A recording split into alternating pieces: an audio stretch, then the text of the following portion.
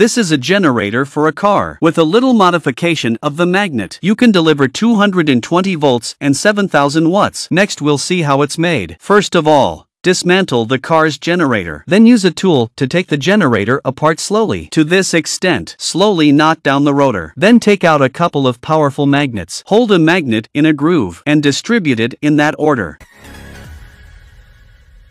to prevent the magnet from falling off. Let's fix it with glue. When it's done, we put it together because it was too fast to disassemble. The wires on the generator are missing. We'll find two more wires and weld it to the top. Take out a small board. Top it with hot melt glue. Attach the generator and a board to the board. Then connect the wiring of the plug-in board to the generator. This time to find a powerful 12 volt motor motor and connect them with a belt. Get another power source. Connect the motor motor to the power supply. That's when the generator started to turn. We put the plug of the drill into the board. Click on the switch. That's when the drill started working. What do you think of this generator? Communication can be discussed in the comments section.